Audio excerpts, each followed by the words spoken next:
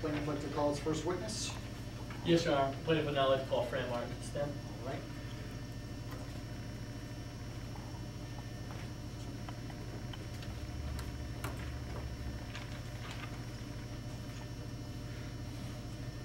Proceed. You may. Please state your name for the court. My name is Fran Martin. And where do you work, Ms. Martin? I currently work for BNN in Anchorage, Alaska. How long have you worked there? I started working for BNN in 1987, and after only a year, I was promoted to low-level editing assistant and became a producer in 2002. How long have you been in the field of journalism? Since um, I graduated high school, What kind of things have you done? well, I, like I said, I was an editing assistant and producer, so I worked a lot in BNN all levels. What does being a producer of BNN entail? General management, um, mostly I determine which programs go on the air and stay off the air. Did you produce the Drew Walton Lane Hamilton debate? Yes, I did. Kit Berkshire herself appointed me to that. And who else did you work with that night at BNN? I worked with um, photojournalist Harley Kim and Regan Thomas, our main reporter. Is BNN usually cover political debates such as this? Not usually, but we are headed towards a more serious news corporation. Do you know Regan Thomas? Yes, I do. And how do you know? He um, is one of our main reporters at BNN. I work with him a lot. And do you know Kit Berkshire? Yes, became president at BNN in 2002. And how do you know? She's um, our CEO and president. I work with her many times. Did you hear the breaking news on September 24, 2006? Yes, I did. And what was the breaking news? Breaking news was that Lane Hamilton had been shot dead. Were you surprised that BNN wasn't covering this yet? Yes, I was. I was very surprised. We were at the debate where he was shot. Did you do anything about this? Well, I called Regan Thomas, who was on the scene, and but he never answered. Did you talk to him at all that night? Around 10:05, shortly after I called him, he had called me back. And how did that conversation go?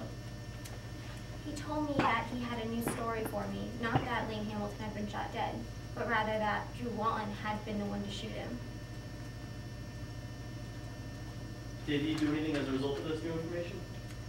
Well, he asked me if he could run a story about it, but I told him he couldn't. And why is that? He had, his witnesses were um, conflicting, and the police reports that he had were inconclusive. I didn't find it to be sufficient evidence by Kit Berkshire's own standards that she set out for BNN employees. Did uh, the story end up running? Yes, the story did end up running despite my advice not to run it. Why is that? I later find out, found out that Objection, calls for improper opinion. She has no idea why the story may or may not have run. Your response? Well, she was the producer that night, and she, it was her decision, and it was, she did find out because she did- is an employee of Blitz News Network why the story did run. Trying to prove that. May I be She has- heard, Your Honor? She has knowledge of it, she can testify to it, I'm gonna overrule the objection. And why did the story run? I later found out that Kit Berkshire, the CEO and president, had overruled my decision and allowed Regan Thomas to run that story that night. Does the president usually make decisions like this for producing? Not usually, that's my job. She had appointed me to make that decision that night. She overruled it though. Did anything happen after the night of September twenty-fourth, two thousand six? Well, Kit Berkshire, I had always thought to be very sensible, but that night she wasn't. So I decided to investigate. I looked at all the broadcasts done about Drew Walton since Kit Berkshire became president and found them, they all had, were very negative. They didn't depict him, depict him in a very positive way at all. Objection, Your Honor. Again, this witness is giving her own, um, she's not been qualified as an expert witness and is giving her own opinion on what in fact occurred, or her characterization of that, these stories as negative. Response? She directly works with Kit Berkshire, so it's her own knowledge of what happened and why it didn't happen. Well, that- that- that's not the objection, the objection is that it's a lay opinion.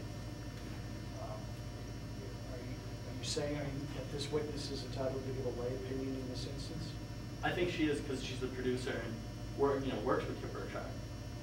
Well, I'm going to overrule the objection. I think that it's the type of lay opinion that any, uh, type of opinion that any person can give. Uh, It doesn't call for an expert qualification to say that something is negative or positive, so I'm going to overrule the objection. Did you do anything related to new research?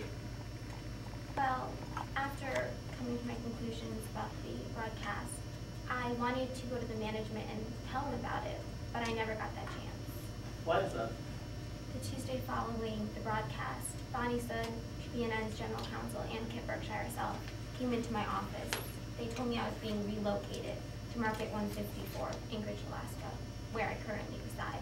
Do you stand by your decision you made that night? Yes, definitely. It was the best decision in light of everything that I knew.